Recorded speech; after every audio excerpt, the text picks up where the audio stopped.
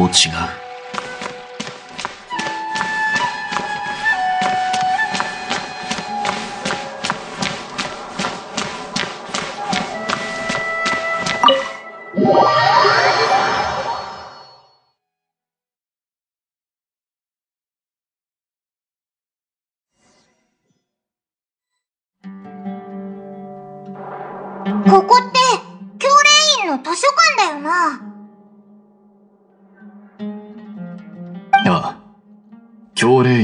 知恵の殿堂だ。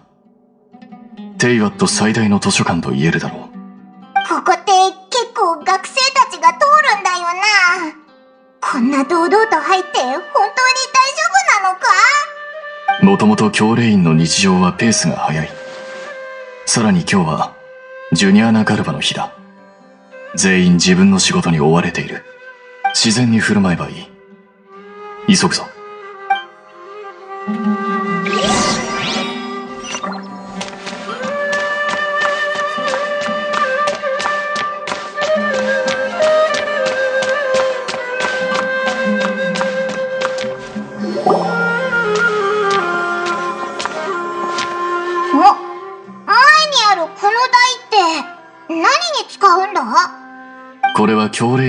のリフトだ。高層階に通じている。大賢者の執務室も上にあるんだよな。じゃあ、これに乗っていくのか。いや、まだ大賢者と鉢合わせする可能性を排除できない。とりあえず近くで観察しよ大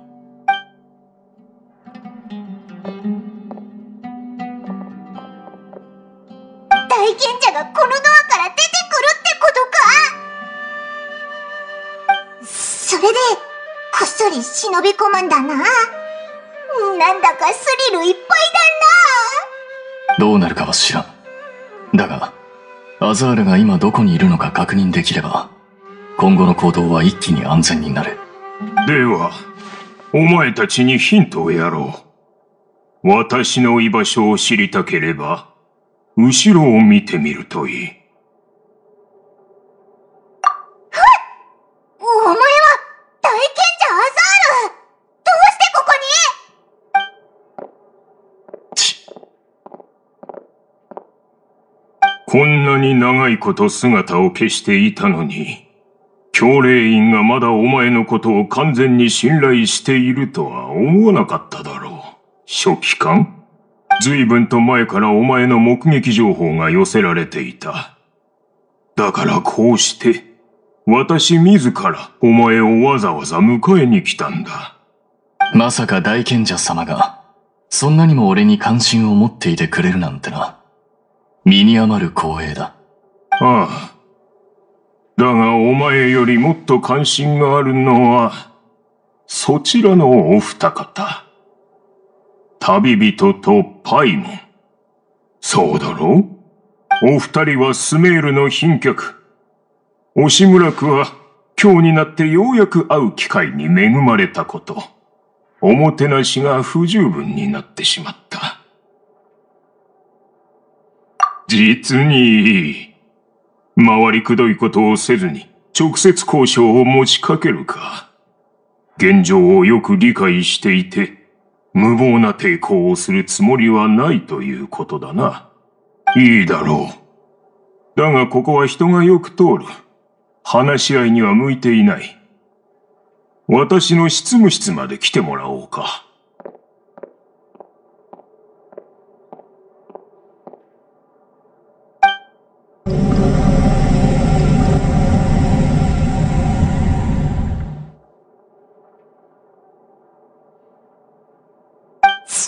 中も衛兵で囲まれてる。おいらたち、本当に逃げられないみたいだ。では、旅人。私と何を話したいのかね？今日はジュニア・ナガルバの日だ。私にはまだ処理すべき仕事がたくさんある。お前たちを取り押さえるまで、そう世間話をしている時間はない。なるほど。こちらがしていることをだいぶ把握しているようだな。だというのに、我々の偉業を賛美せず、そんなさまつな気がかりで私を揺さぶろうとするとは。さまつでは、ファデュイが私から何を得ようとしているのか、言ってみたまえ？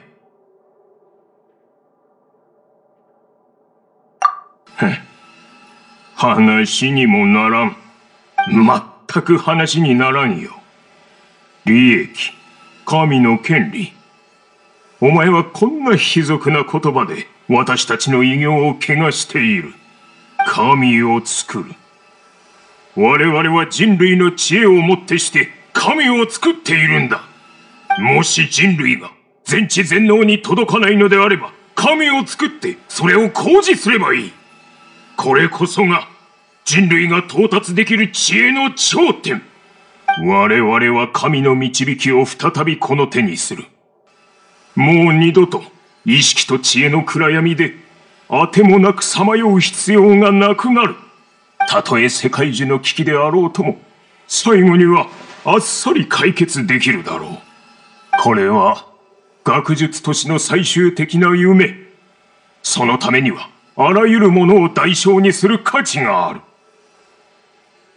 神が自分の手から誕生するその喜びをお前では永遠に味わえないだろう。お前の知恵では、この感情を理解するには不十分だからな。一つだけ言うならば、神は人類よりもはるか高みにある存在でなくてはならない。暗草なりデビ。彼女に何ができる？民をなだめる？砂人への対策？それとも、高等無形なおとぎ話でも作ることか？そんなの、教霊院でも簡単にできる。ならば、私たちも神なのか？我々はマハールカ・デバータ様の恩恵を受けた民。このマナコで見たことがなくとも、我々の先祖たる学者たちは真の知恵を見た。だが、今の暗草なりデビは、神の座にいても学者たちに迷いをもたらす。あれが真の知恵なのか？ならば、彼女にずっとスラサタンな聖書にいてもらった方が学術環境もより安定する。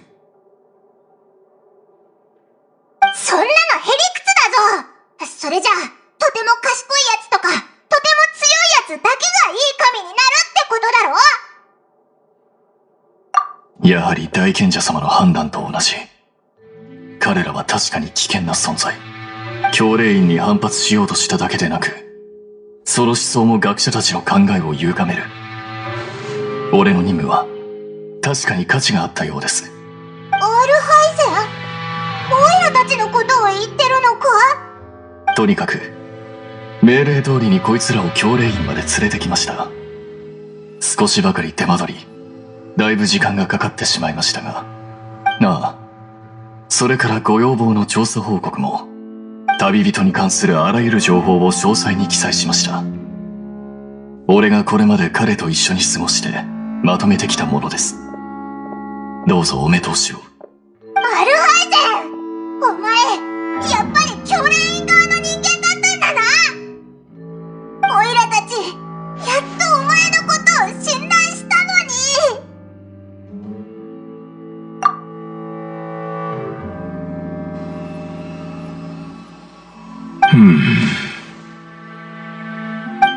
くやった。とても詳細にまとめられている。それに指摘するような箇所もない。さすがは書記官。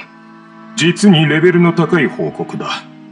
今日はちょうどジュニア・ナガルバの日。その情報も一緒にアーカイ社へ入れよう。これが何を意味するか知っているだろう？セノみたいになるのか？アーカー社の演算能力により、お前の行動は全て予測される。その正確さは少なくとも98%以上。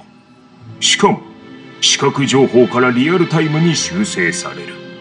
つまり、どこへ行こうとも形のない檻がお前を囲っているということ。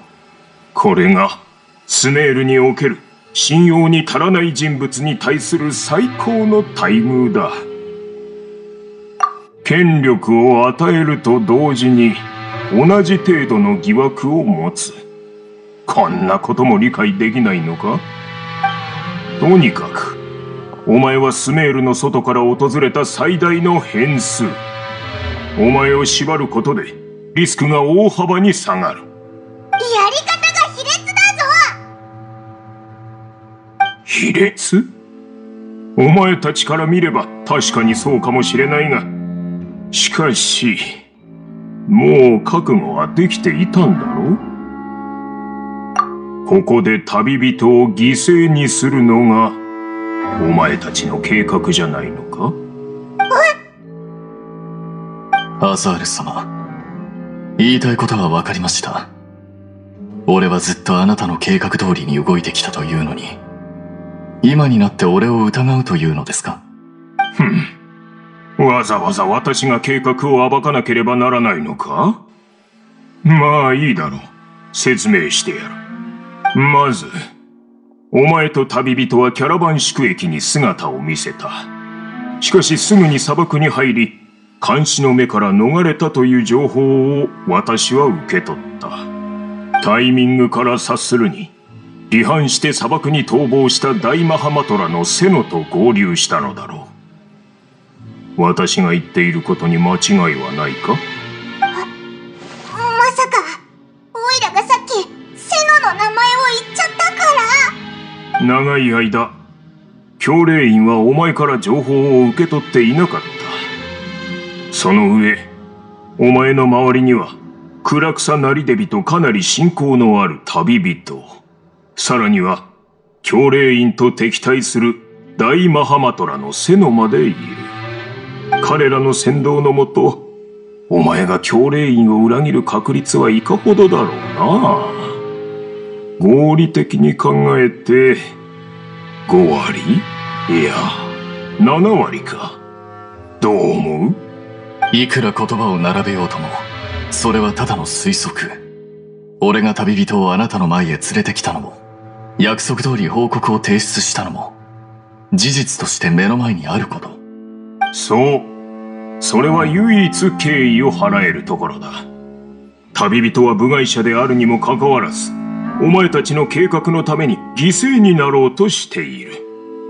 私の推測が正しければ暗草なりデビを救うためそして我々の偉業を打ち砕くためにお前たちはおそらく二つの策を用意したのだろう。まずジュニア・ナガルバの日に教令員へと紛れ込みアルハイゼンの書記官という身分を利用すれば暗草なりデビを助ける方法を直接見つけられる可能性も高いだろう。もしお前たちの作戦が見抜かれたらアルハイゼンはトカゲの尻尾を切るように旅人を犠牲にして身の潔白を証明する。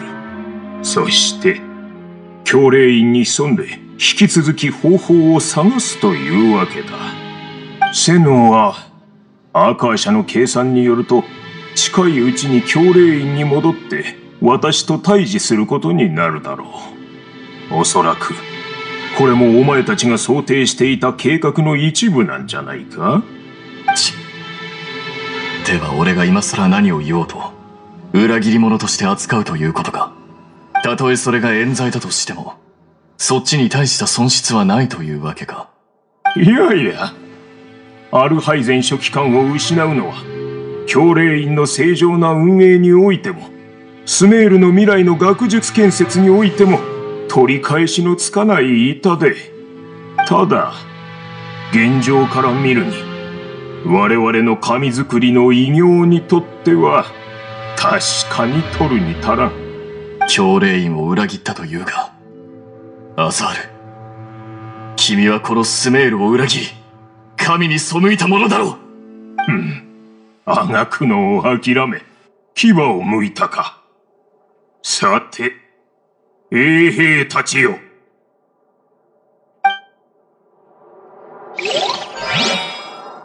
ア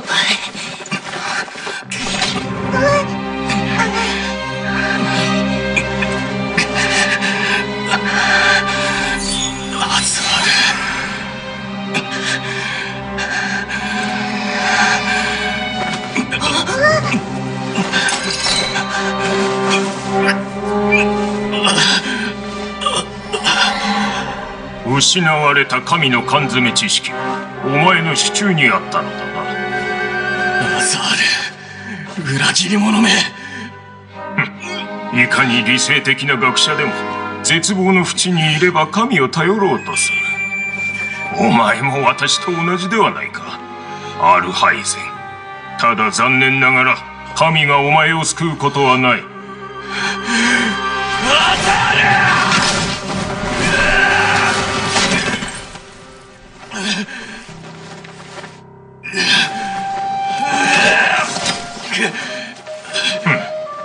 奴はもう完全に狂った。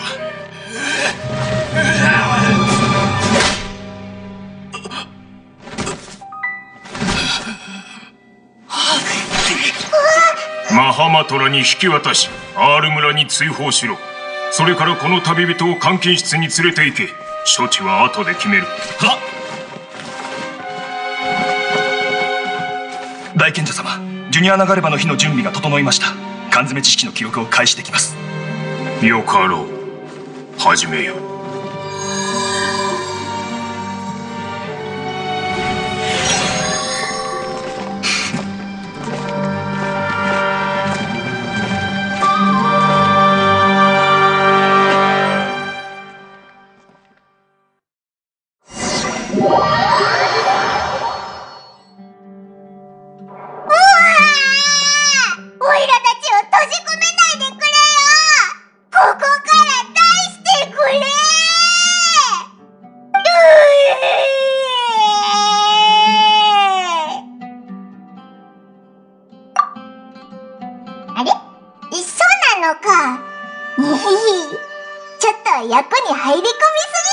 だぜオイラのさっきの芝居よかっただろ？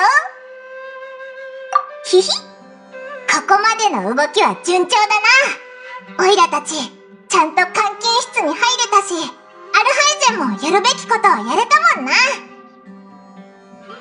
あの大賢者アザールまで見事に惑わされるなんて、アルハイゼンの計画ってとんでもないな。で、これから何するんだっけ？緊張してたせいか、オイラあんまり覚えてなくって。おう確か、こんなことを言ってた気がするぞ。これ以外にも第一段階の行動にはもう一つ目的があるそれが旅人を監禁室へ送り込むことだえわざとこいつを閉じ込め彼は賢者にとって最も警戒すべき対象であり計画を脅かす最大の敵であることを奴らは誰よりも知っている。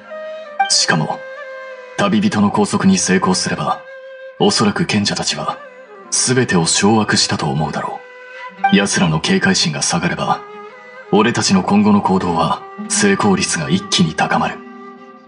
お前がそう言うと、あいつらの得意げな顔が目に浮かんでくる。心理的なものってことか？でも、なんだか割に合わない気がするぞ。もちろんそれだけではない。監禁室にいる君には、もっと重要な任務がある。ラフマンに捕まった教令員の学者たちによれば、クラクサナリレビは、アーカー社で意識を博士に囚われた後、自身の意識を封鎖し始めたという。博士たちが、その中からさらなる情報を得るのを避けるためにだ。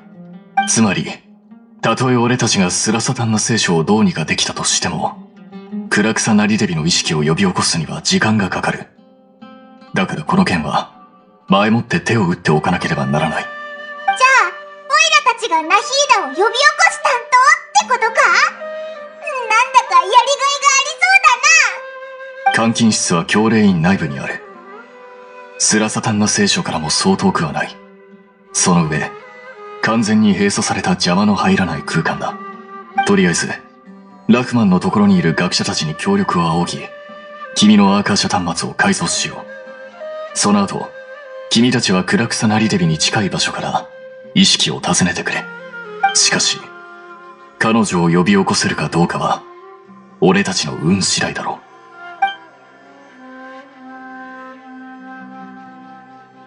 おおだから今日ずっとアーカーシャ端末をつけてたのか。これがアルハイゼンの改造したバージョンなんだな。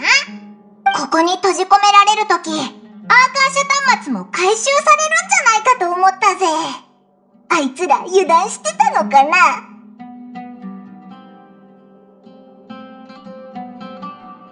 それで、オイラたちは今からどうすればいいんだ？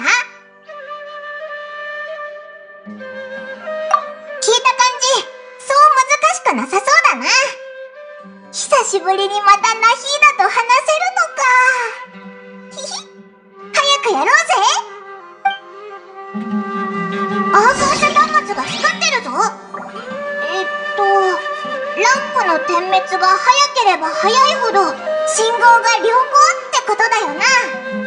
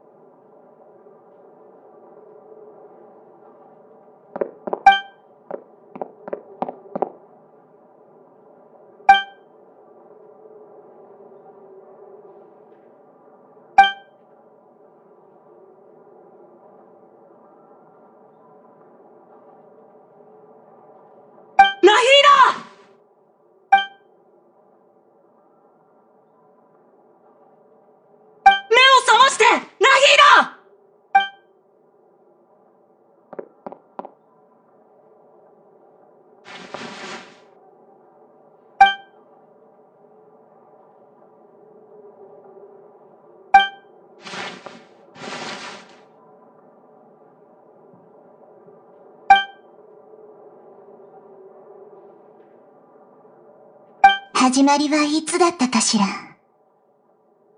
ええ。そうだわ。生まれたあの瞬間から始まったのよね。私は、一人前の神になりたかった。そのためにずっと勉強して、民の心の声に常に耳を傾け、世界中を助ける方法を探し続けて、あの後ろ姿に追いつこうと願った。ナハールッカデバータに追いつきたくて。だけど、私は、スラサタンナ聖書に軟禁されている。賢者たちが創造する新たな神が、私にとって変わろうとしている。仕方なく、私は、この意志を果てのない暗闇に閉じ込めなければならなかった。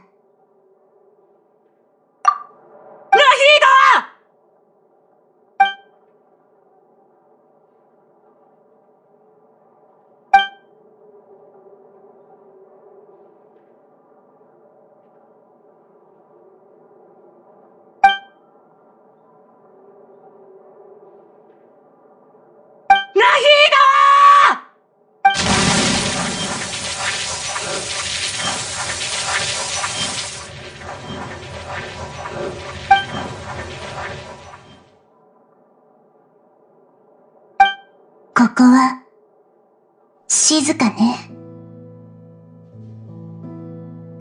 そういえば、自分の声をちゃんと聞いたことがなかったわ。神にも心の声はあるのかしら。神に心の声はあるべきなのかしら。私の行いは、すべて正しいの。私は、本当に必要とされていないの。私自身、本当はどう思っているの？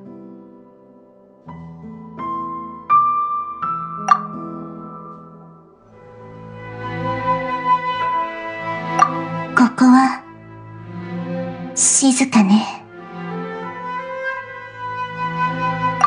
もしあなたが知恵の神なら、さっきの質問の答え、最初から知っているでしょあなたは、誰？誰の声？懐かしい。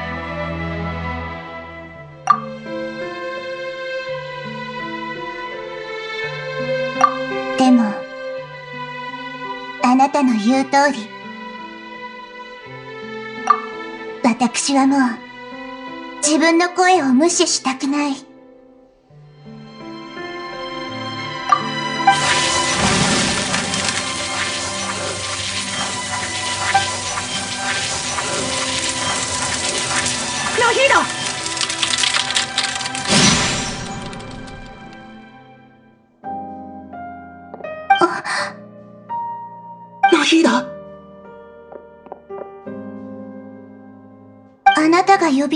くれたの。ありがとう。でも、どうしてここに？助けに来た大丈夫？大丈夫よ。ただ、私の身に起きた数々のことを思うと、今はなんだか、すごく怒っているみたい。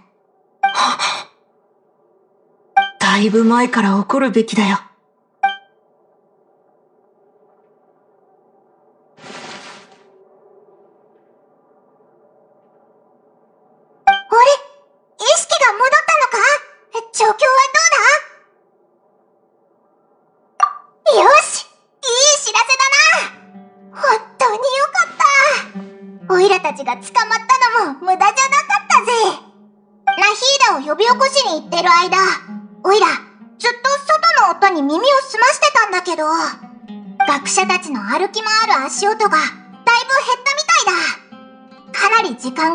し、賢者たちはもう、ジュニアナガルバの日の作業を終わらせたんじゃないか？だな。そしたら、次はリーローの出番だ。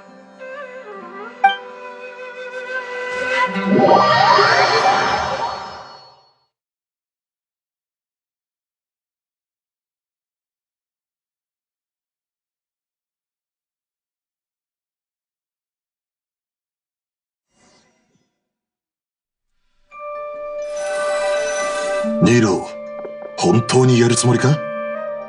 あいつらのためにこんなリスクを冒すなど。行ってくるよ。私がどんな上演の機会も逃したくない人だって知ってるでしょ？それに、今回のステージは、とても意味があることだもん。わかった。どうやら君はあの者たちをとても信頼しているようだ。俺から言うことは何もない。しかし、万が一のことがあった時、俺たちでは助けられないかもしれん。安心して。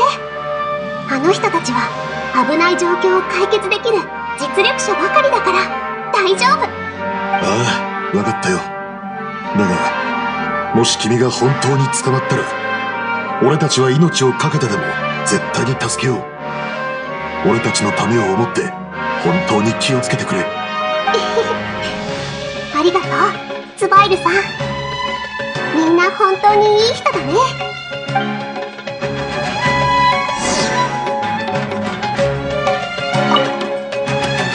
覚えておいてくれ。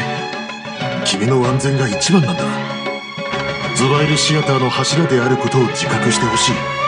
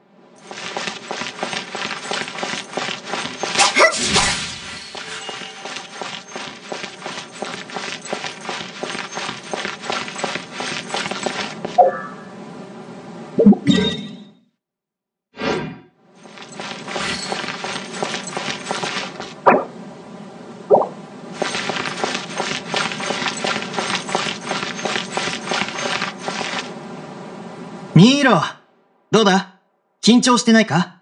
確かに、普段のステージよりは緊張してるかな。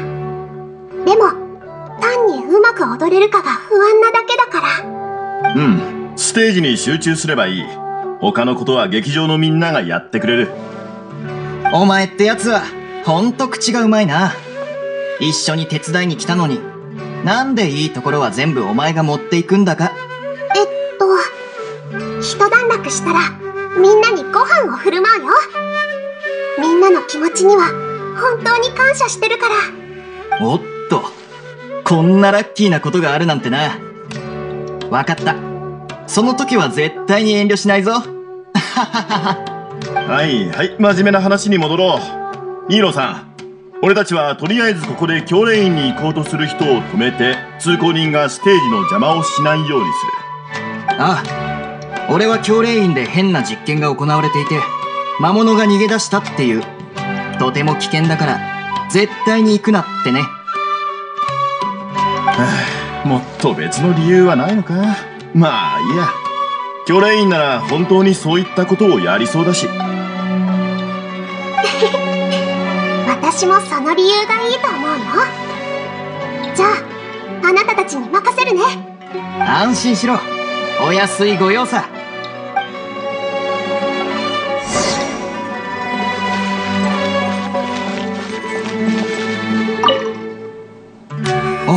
前ってやつは、本当にニーローの前だと出しゃばるよな。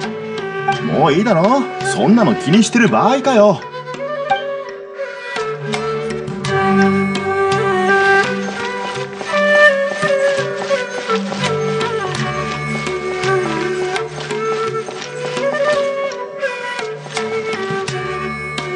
いらしたんですね、ニーローさん。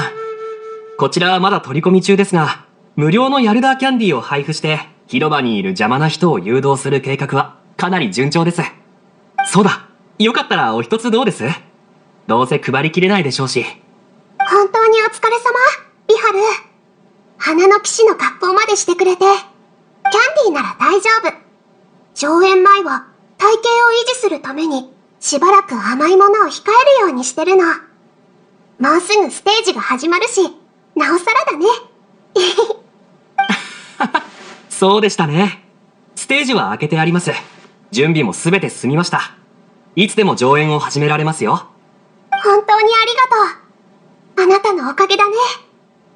じゃあ、ステージに上がる準備をしてくるよ。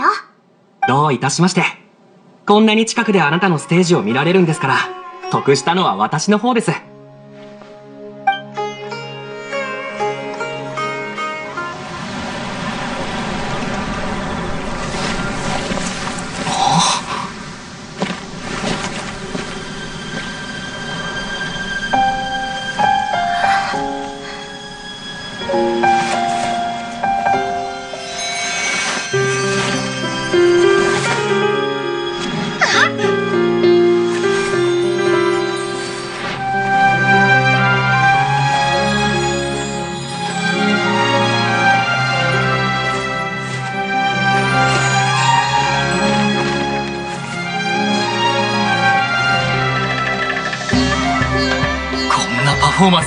ことがないなんというか言葉じゃ表せないな。そうね。でもこういった光栄はもう固く禁止されてるはずよね。それでも行うなんて。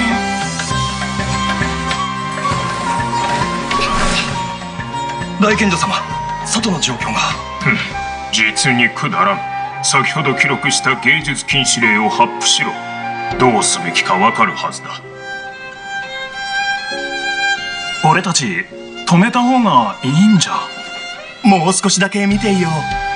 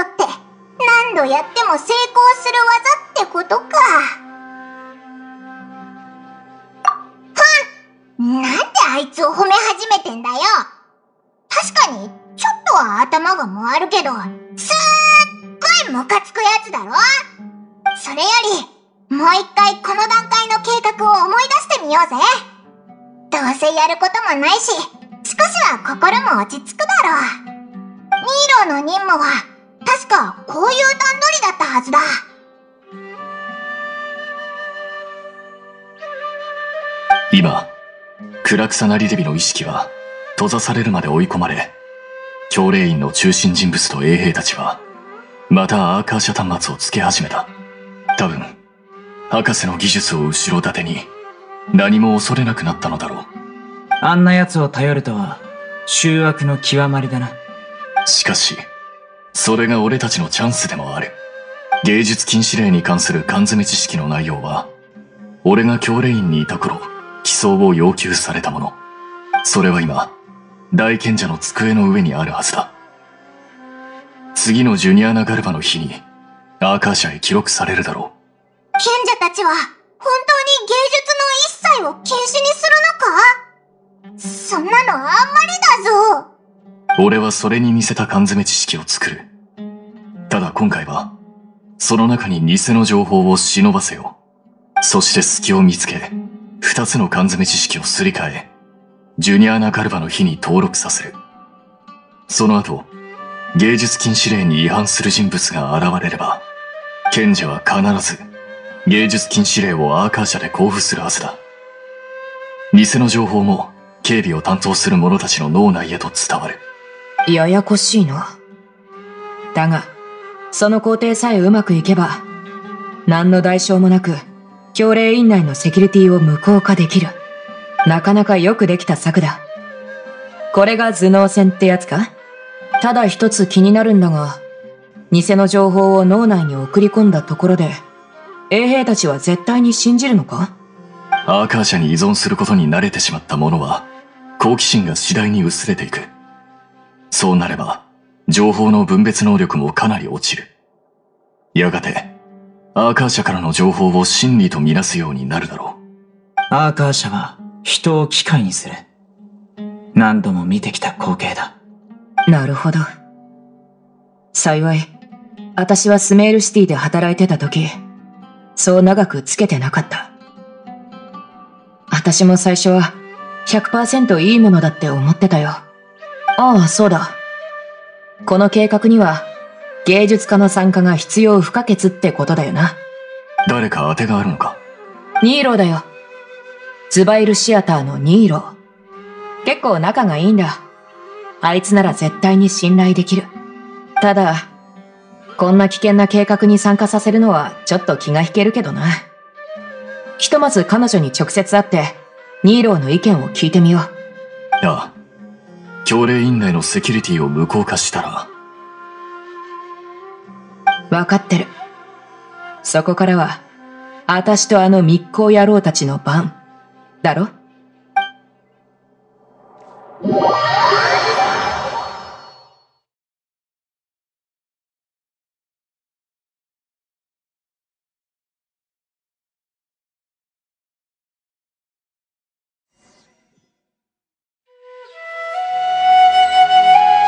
おい見ろ、ラフマン。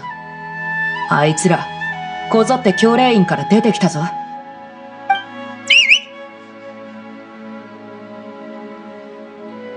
シティに長いこと潜伏して、この瞬間を待ってたんだ。野郎どもも動き始めてる。教令院の中にいられちゃ手出しできないが、教令院から出さえすれば、私たちの狩り場だ。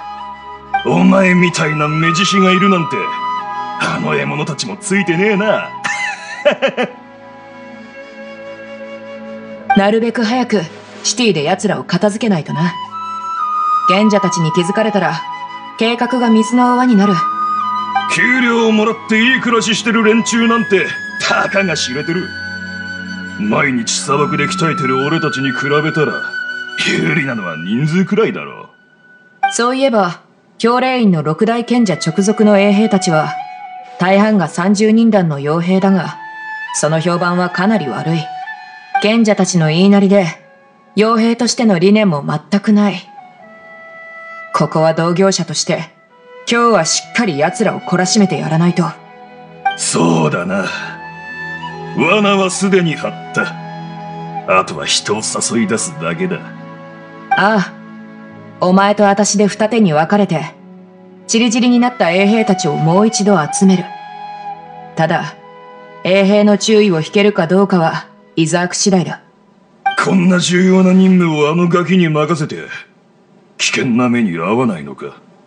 大丈夫さ。それに、イザークがどうしても手伝いたいって言うんだ。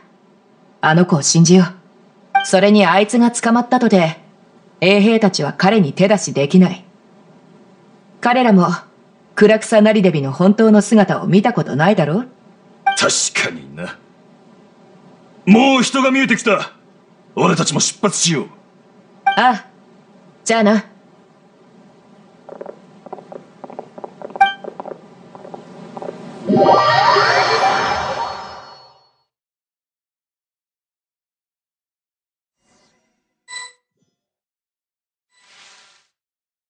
この服、う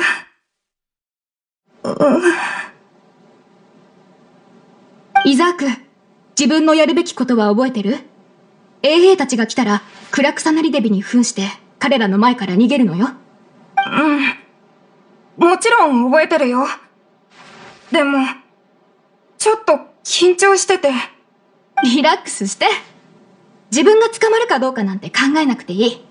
たとえ捕まっても、私たちが必ず助けに行くから。イザークはどうやってあれら衛兵の気を引くかだけに集中して。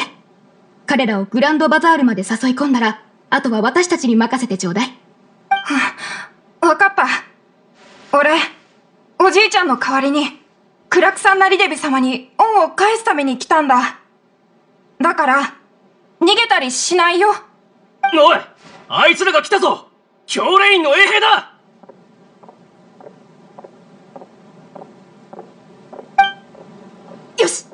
時間だイザク。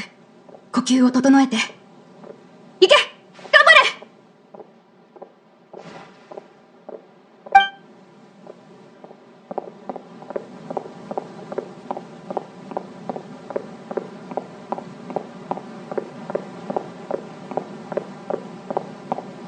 れ！なんであっちにも衛兵がまさかもう先回りされたの？計画とちょっと違うけど。もう時間がない。早く決断しないと。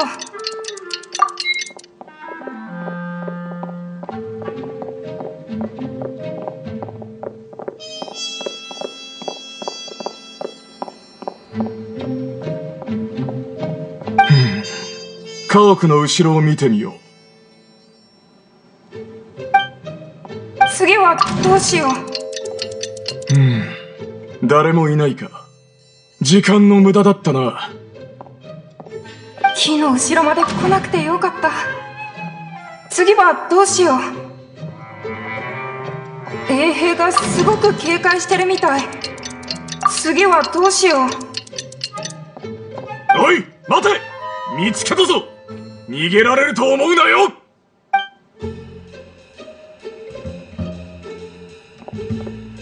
衛兵がすごく警戒してるみたい次はどうしよう。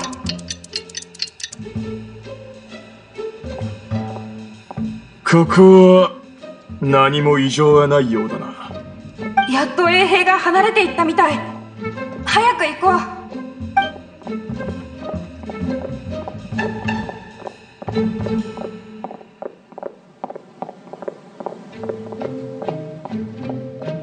おいクラクセナリデビがあっちにいるぞ。待てクラクサナリデビなんでさっき気づかなかったんだ。まずい。見つかったどの方向に行こう。クラクセナリデビらしき目標がグランドバザールに逃げ込んだ。すぐに集合し奴を捕まえろ。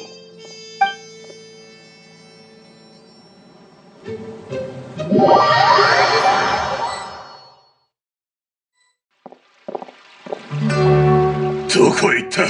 消えた？まさか見失ったのか。早く探せ！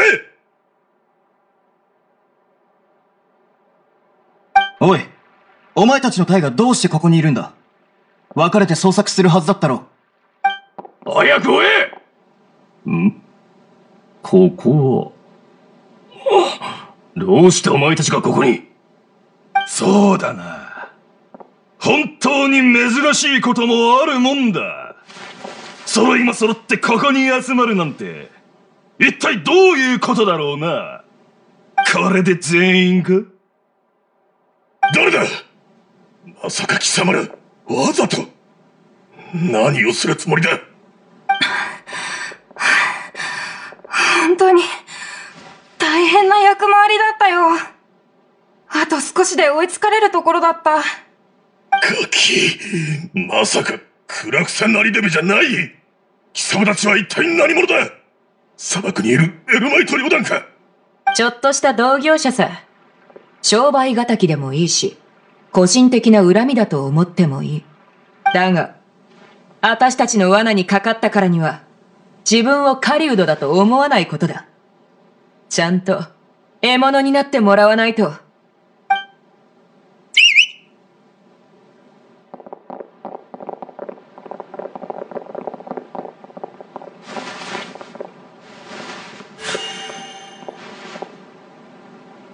待ち伏せだとここはスメールシティの中だというのに砂漠の傭兵たちに待ち伏せされたのかずっと教令員にこもって出てこないからさ。ここはとっくの塔に、私たちの狩り場だ。観念しろ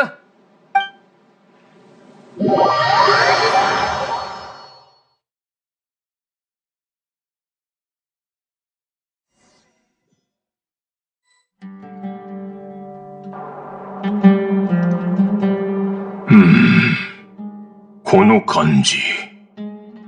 ジュニアナガルバの火の儀式が先ほど終わったことにより、やっと少し静かになったか。ただ普段と比べて、いささか静かすぎる。衛兵はどこだ？今までいた衛兵たちはどこへ行った？衛兵衛兵はいるか？大賢者様、どうなされましたか？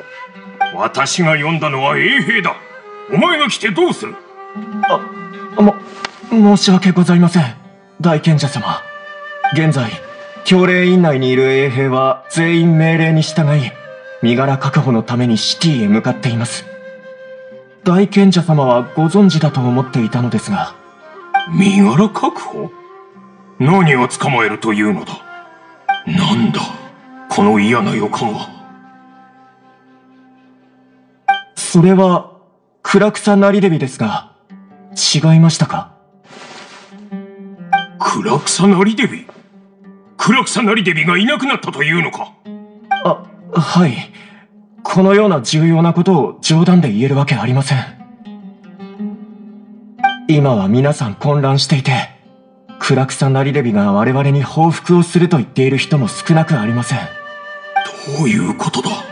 一体何が起こっている？暗草なりデビが逃げただと？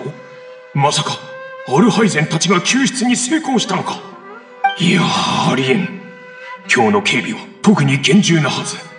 暗草なりデビを解放する命令もセキュリティは絶対的なものだ。それに、アルハイゼンと旅人はすでに捕まっている。奴らは一体何をしたんだ？暗草なりデビが急に消えるわけが。消える？待てよ。おい、身柄確保の命令はどうやって衛兵たちに出された？少し前にアーカー社によって出されました。このような情報を発信する権限はあなた様の手にしかありませんので、てっきりあなた様が下された命令なのかと。待て、今確認する。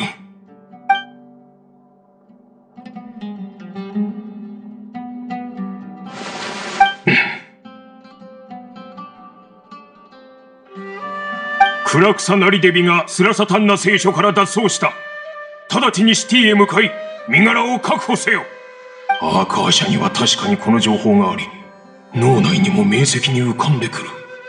奴らは一体どうやって私の権限をかいくぐり、この情報を発信したのだまさか、アルハイゼンの提出した旅人についての報告かいや、私がそれをアーカー社に記録する前、あの缶詰知識は念入りに調べたはず。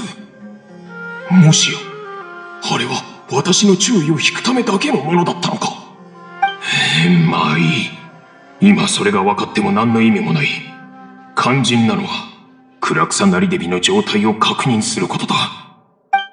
お前たちは、暗草なりデビが本当に脱走したかどうか、スラサタンナ聖書に行って確認したか確認？いえ、していませんが。そ、その、失礼かもしれませんが、大賢者様のおっしゃっていることは、いささかおかしいような。アーカー社の情報が偽りである可能性はないはずです。これは、我々にとって疑いようもない常識。もしも、アーカー社の情報と知識でさえ、自らの確認が必要なのだとしたら、で、では、初めから自分で知りに行くのと何の違いがあるというのでしょう。マハールッカ・デバータの貴重な遺産も意味を失ってしまうのではないでしょうか。確かに。当時お前たちにアーカー社とマハールッカ・デバータの遺産を信じて疑うなと言ったのはこの私だ。つまりお前は今、その言葉をもってして私を疑おうとしているのか？いえ、大賢者様。あなた様の言葉を信じているからこそ疑問に思ったのです。決して反論しようという考えはございません。お前はここを守っていろ。近くに怪しい者がいないかよく見ておけ。スラサタンナ聖書には、私が直々に向かう。大賢者様。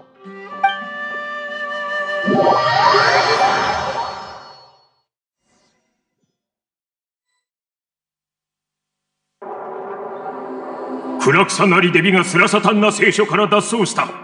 直ちにシティへ向かい、身柄を確保せよ。そんなバカな。もうこの可能性は考えるな。考えてはならん。おそらく奴らが何か小賢しい真似をしたのだろう。私がこの目で確かめればきっと。なバカな。こんなバカなことはありえない。私の目が狂ったのか？ああ。な、また現れただと？一体どういうことだ？実に滑稽な姿を見させてもらったよ。アザール。アーカー社によって脳内へ何らかの考えを植え付けられると、たとえ大賢者でも、目の前の物事を正しく認識できなくなるのだな。お前たちはいつも自らの脳内にある世界と、自らの思う世界しか見てこなかった。だからこそ、お前たちは、暗草なりデビの存在を無視した。彼女が、聡明な神であるにもかかわらず。性能。お前はずっとこのような機会を待っていたのか？お前が再び私と対峙することをアーカー社が予測していたが、このようなシナリオになるとは思ってもいなかった。私の油断が招いた結果か。自らの過ちを認めてまで、アーカー社の問題だとは言いたくないか。やはり相変わらずだな。プライドの高いお前がアルハイゼンや旅人たちと手を組むとは、確かに予想外だ。人は変わるぞ。アザール。アーカー社は、もう俺の行動を予測できない。そろそろ認めたらどうだ？ふん。お前たちが何を調べ上げたのか、言ってみるがいい。時間稼ぎか。ここは、スラサタンな聖書だ。お前自身が定めた規定により、教令員の者がここへ入ることは禁止されている。誰も助けになんて来やしない。調べ上げたことについてだが、少なくとも、お前が神に逆らったという重罪を犯したのは、もう知っている。それがどうした？まさか私に、お前の目の前で罪を認めろとでも？大マハマトラ殿？いや、神の前で罪を認めろ。お前はかつて、俺にお前を審判する権利はないと言ったが、今、神の名においてならどうだ？うん。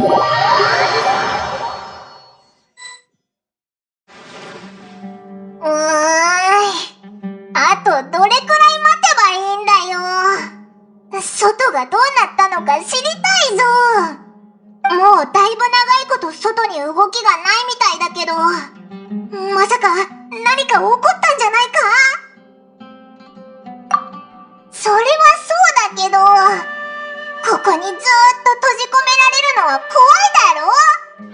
あ、そう考えると、少なくともオイラにはお前がいるから、まだこうして話ができるけど、ナヒーラはずっと一人でスラサタンな聖書に閉じ込められてたんだよな。本当にかわいそうだ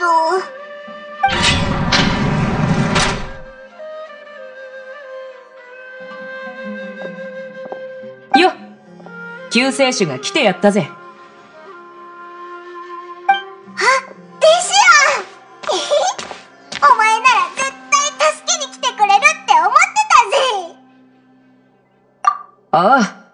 ちゃんと私に感謝するんだな。ここの鍵を手に入れるのに、一体何人の衛兵を身体検査したか。あいつらを倒すより大変で、本当に疲れたぜ。大変だったんだな。あ、オイラが肩でも揉んでやろうか。いや、それだけは、遠慮しておこう。何慌ててるんだよ。あ、もしかして、くすぐったいのが苦手なのか？うまあまあ、今はそんな話をしてる場合じゃなくてだな。シティの状況だが、セノの方も順調だ。教令員から送られた衛兵たちも、全員片付けたぜ。防衛を担当する30人団についても、すでにアスファンドさんに連絡を取った。彼らもとっくの昔から、人を顎で使う賢者たちにうんざりしてたようだな。雇用契約に違反しないことを前提に、今回の件を見なかったことにしてくれるらしい。これも、お前たちがシティの30人団と昔から知り合いだったおかげだな。それで、セノの方はどうなったんだ？大賢者はすでにセノが取り押さえた。セノの手に落ちることがどれだけ怖いか、私でさえ知ってるぜ。おそらく、大賢者もそれを理解しているはずだ。暗草なりデビを解放するようセノが命令したら、奴はそれに従うしかないだろうな。だから、早くスラサタンな聖書に行くといい。うまくいっていれば、私たちは神を救ったってことだ。まさか神を救うために結成された臨時のチームが、こんなにも頼もしい存在だなんてな。早く行くといい。シティの後片付けは私がやる。後でまた落ち合おう。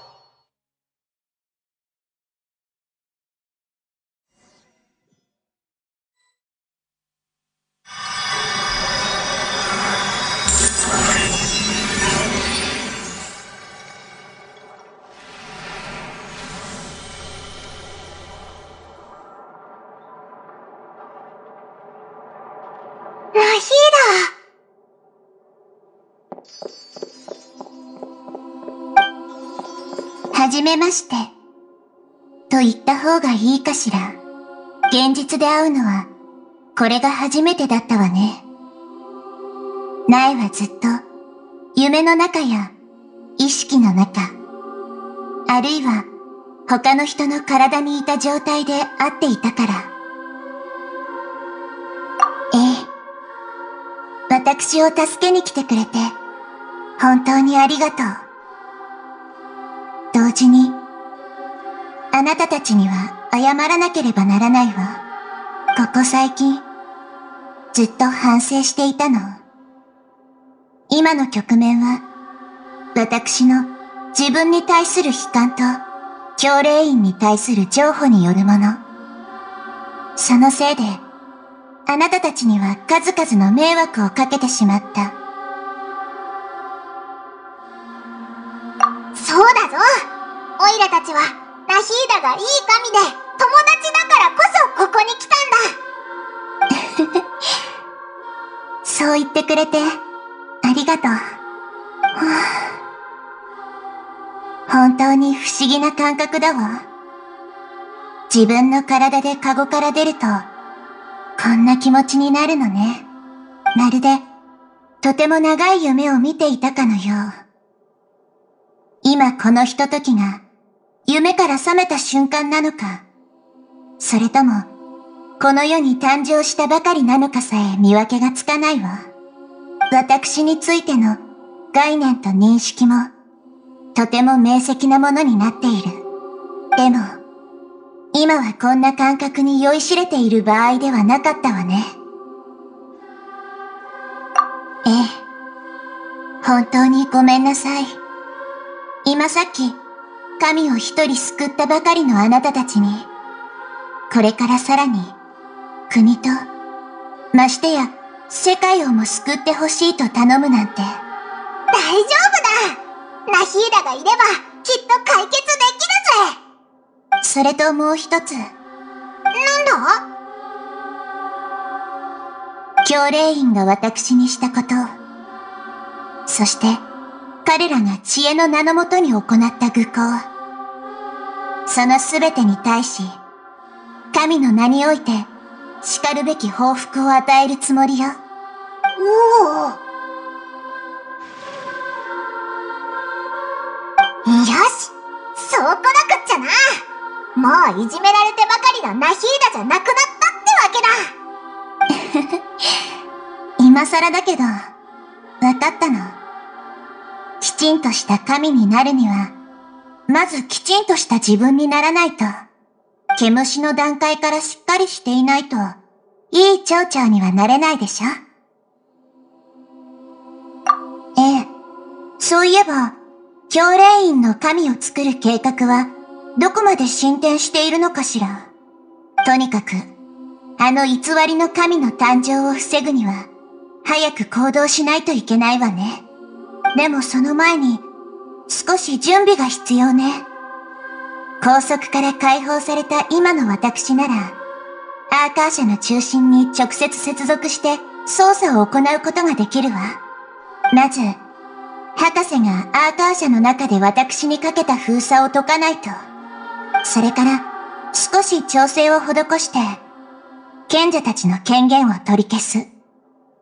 アーカー社を神のみが操作できていた原初の状態にするわ。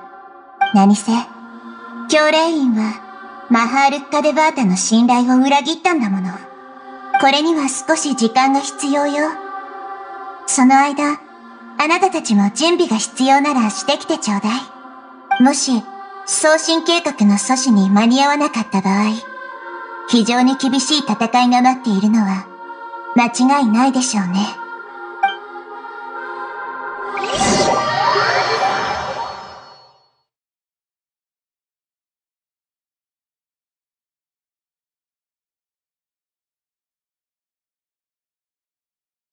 ちに戦う準備を整えておこうぜ。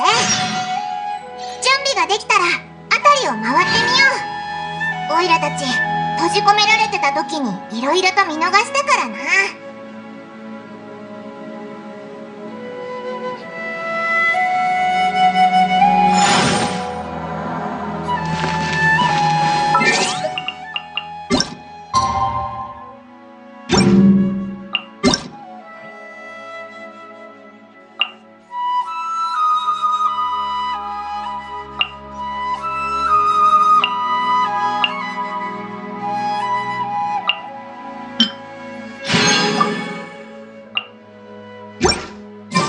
花と酒を手に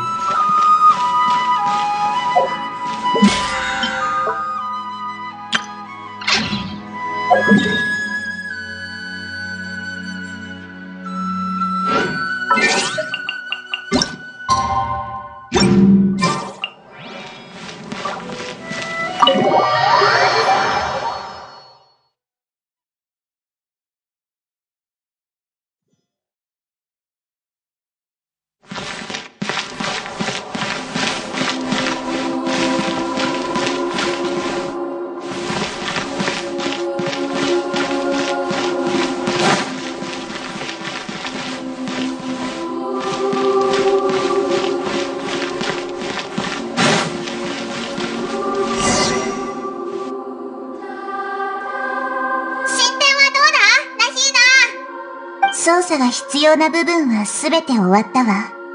こうしてアーカー社を操作するのは初めてだけど、アーカー社内部の構造と操作プロセスは、私にとってとても理解しやすいものになっていたわ。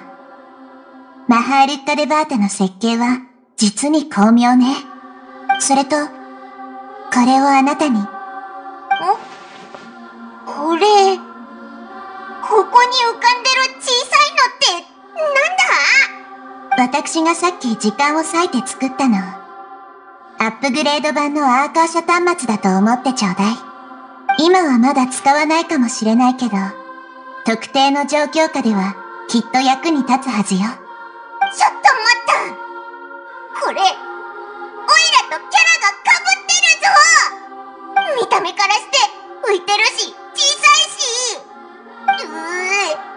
らの特徴が奪われた感じだこれから先、旅人のそばにいても、みんなオイラのことは覚えてくれないオイラはもう、唯一無二の存在じゃなくなったんだ大丈夫よ。あなたにとって変わることなんてできないわ。大門。これはただの飛んでいる道具だけど、あなたは旅人のかけがえのない友達じゃない。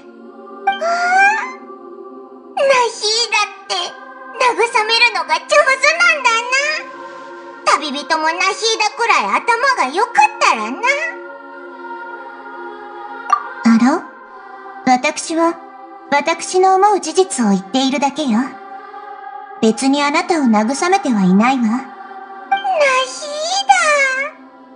お前は人を慰める天才だったんだな。おいらそれを聞いて、もっと嬉しくなったぞ。それと、他にも一つ認めないといけないことがあるの。今の私は、自身の神としての体を使って動いているけれど、戦闘面では、やはり心もとないわ。あなたたちも聞いたことあるかもしれないけど、神は、民の信仰から力を得る。でも私は、マハールッカデバータのように、人々に慕われているわけじゃない。だから、やむを得ず戦闘になった場合は、あなたに頼むかもしれないわ。もちろん私も、全力であなたのサポートをするから。すごく頼りになるのね。おお、知恵の神が戦闘に不向きって、聞くと確かに納得だな。すでに偽りの神の居場所を突き止めたわ。何はさておき、早く出発しましょう。お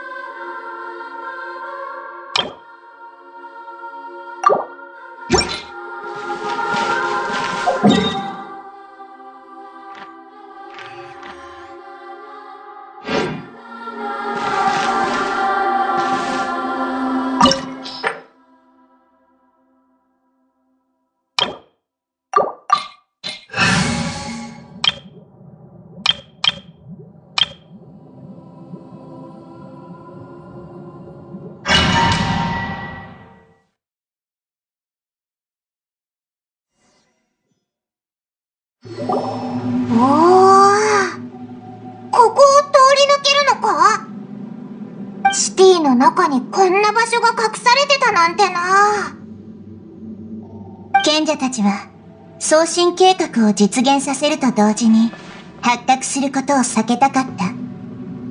確かに直接教練院内部で取り掛かるのが最も安全で便利な方法ね。おお、そうだな。もともと神を一人隠せてたから、それが二人になっても大して問題ないってことだろここの構造から見て、とても大掛かりな工程が必要なようね。賢者たちは本当に送信計画を最終目標にしているみたい。でも見た感じ、ここは教練院だけで完成させられるようなところじゃないわ。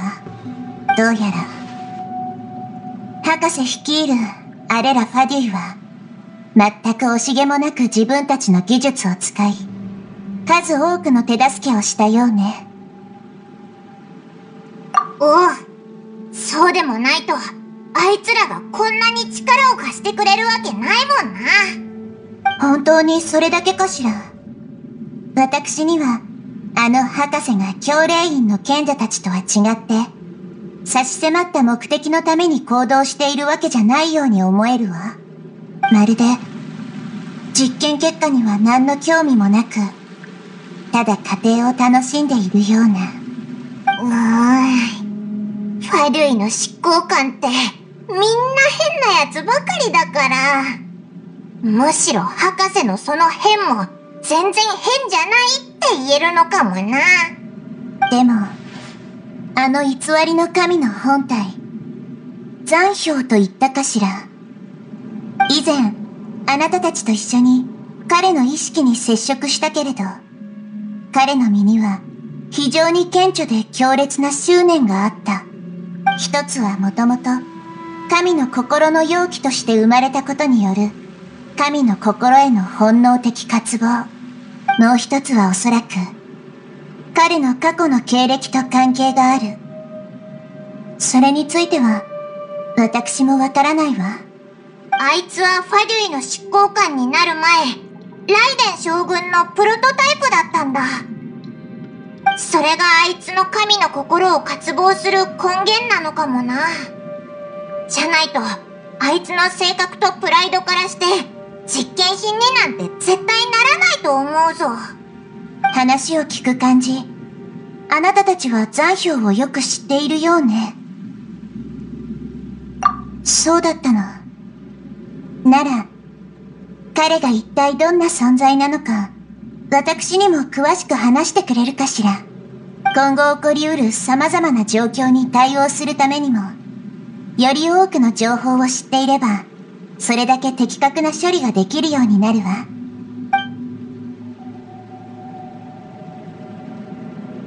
そう。理解したわ。実に興味深いわね。では行きましょう。ここを通り抜けて、直接彼に会いに。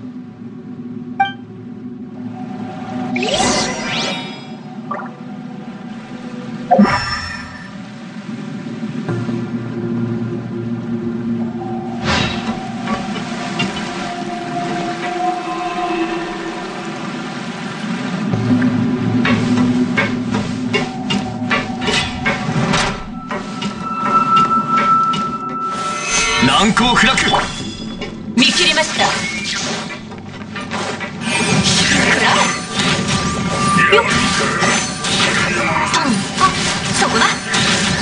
くらえ。トンよははあトンほれ。そこだ。剣女盤石。たはふ隙ありいや。くらえ。あそこだ。よ燃えよ。ほれ。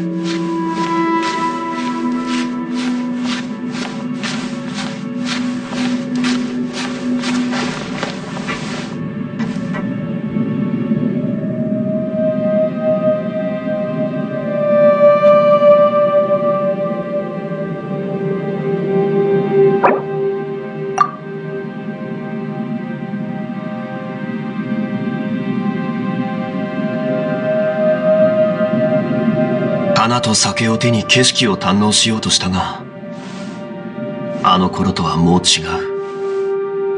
旧友とまた。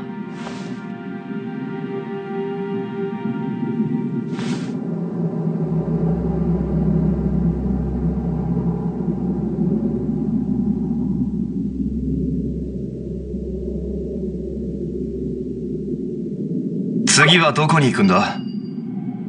リーユへの名称を巡りたいならいい案がいくつかあるぞ。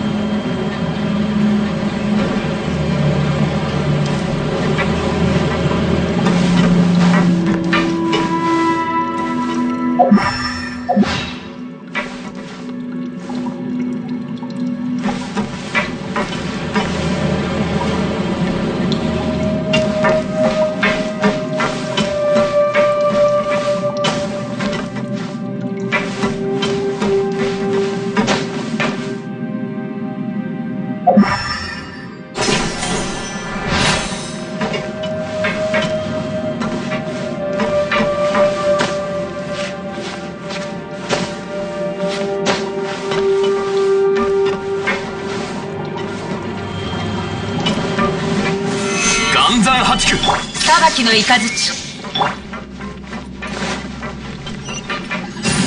あほれ。ボンくらえ。トン。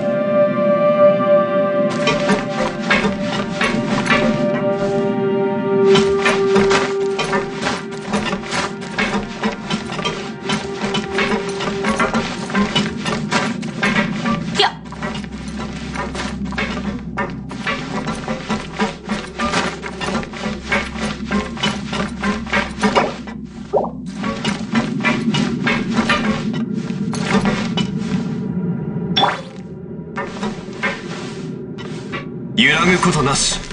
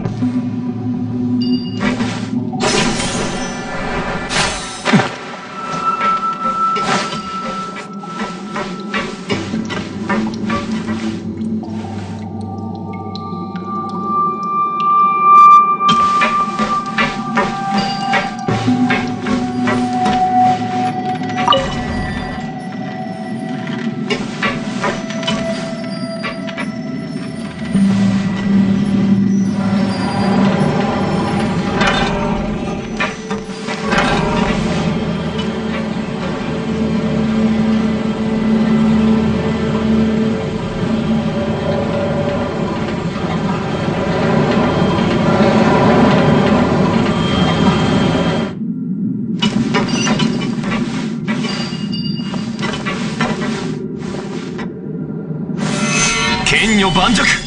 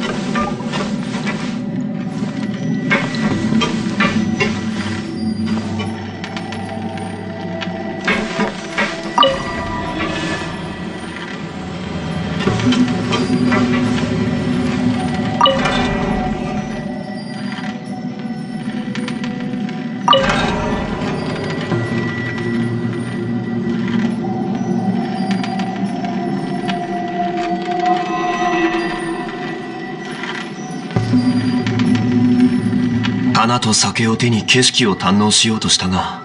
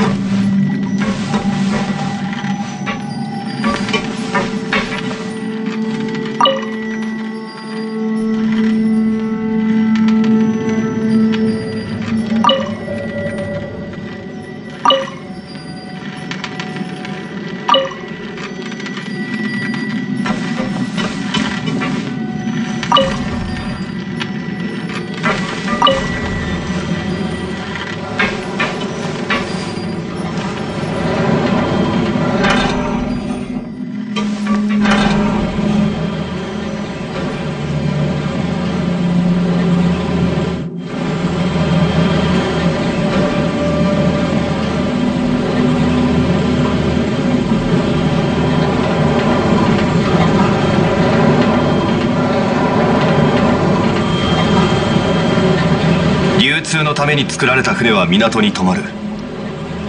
だからリーウェはあらゆる富が沈着する場所だ。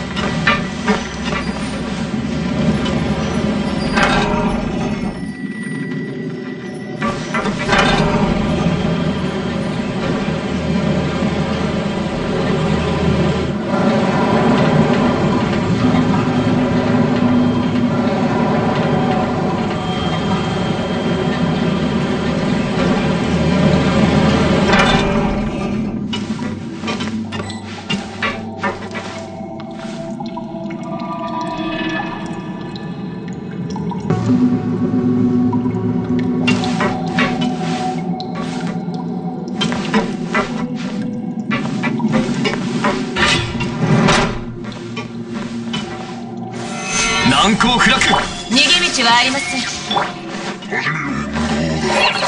聞いたみたいほれ燃えよ。食らえいやほれふっトンそこだ。よっ。いけ。下がれ。岩山八九裁きの雷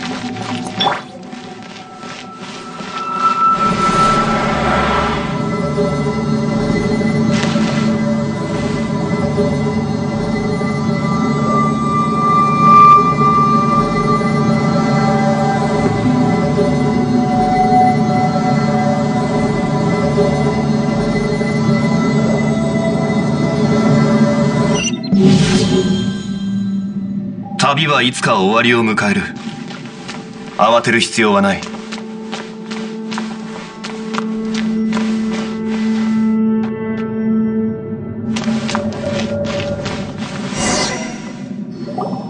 この運行状況から見て、最悪の事態を覚悟する必要があるわね。彼らの作ろうとしている神は、完成間近か、すでに完成しているかもしれないわ。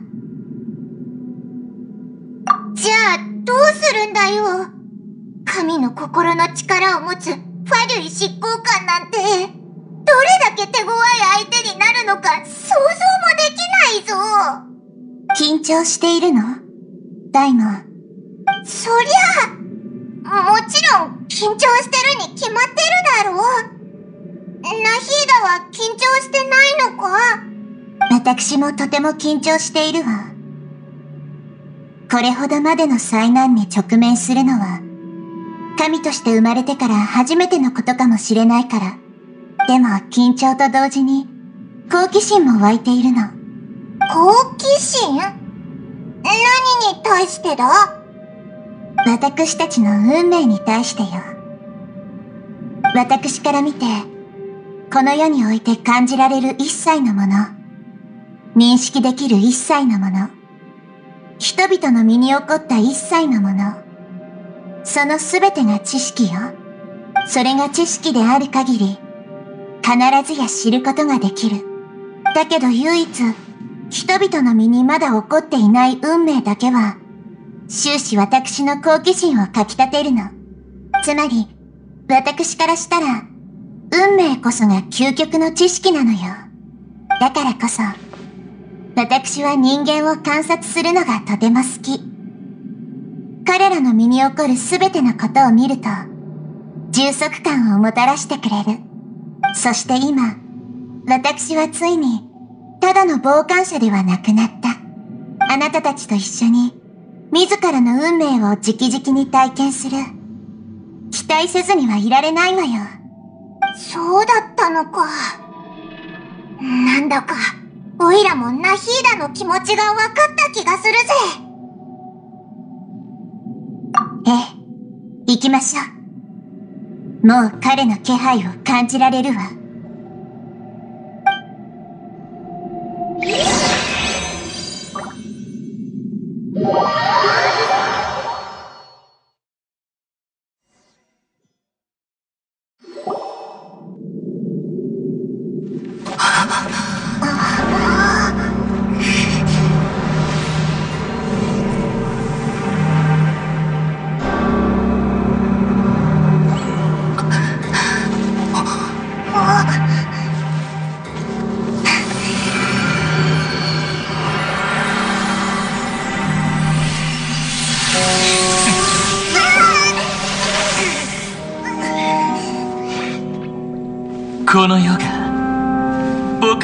の誕生をこれほど待ち焦がれているとは。君たちのことは覚えてるぞ。知恵の神ブエそして旅人。こいつもうマハールッカ・デバータみたいに全知全能になってるのか？いえ。彼からマハールッカ・デバータの神聖は感じられない。賢者もまだ神の缶詰知識を注入していないみたい。でも確かなのはこの瞬間の彼はすでに正真正銘の神であること。もう手遅れなのか？完全に神になった。残氷残氷はすでに僕にとって遠くかけ離れた名だ。精神が神に昇華した時まるで天地と同等の歳月を過ごしたかのようだった。今この身で振り返れば国崩しなどという存在はあまりにも小さく醜い。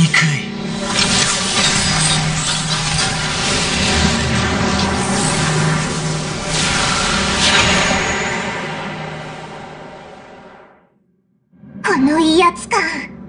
確かに神レベルだぞ。残氷の機械人形という元々の概念を極限にした体。その上さらに神の心によって際限なくエネルギーが送られている。教霊院と賢者は一体どれほどの力を費やしたの？単に技術的角度から見れば賞賛に値するほどのものよ。人間の英知の結晶と言っても過言じゃない。まだそんなこと言う余裕があるのかよ、ナヒーダでも、精神的角度から見ると、彼が神の畳にまで到達しているとは、私は思わない。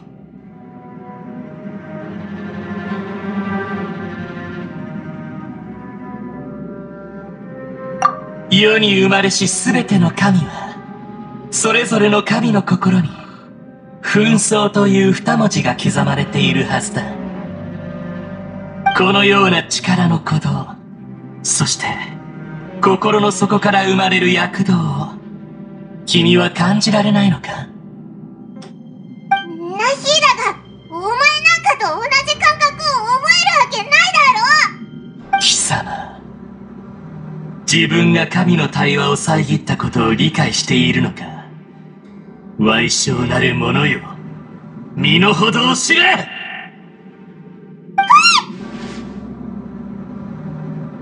神の心に刻まれた紛争。もしかして魔人戦争のことが言いたいの？今のテイワットにおける平穏な局面は決して容易に得られたものじゃないわ。私は直接魔人戦争に参加してはいないけれど私から見てあれはただ法則に駆り立てられた無意味な消耗だった。今更持ち出しても意味はない。そうだろうか。僕は自分が本物の魔人戦争に参加できなかったことを非常に残念に思っている。まさかこの世に力を渇望しない神が本当にいたとは初めて見たよ。知恵を司る神。通りで自らの民にさえ見捨てられるわけだ。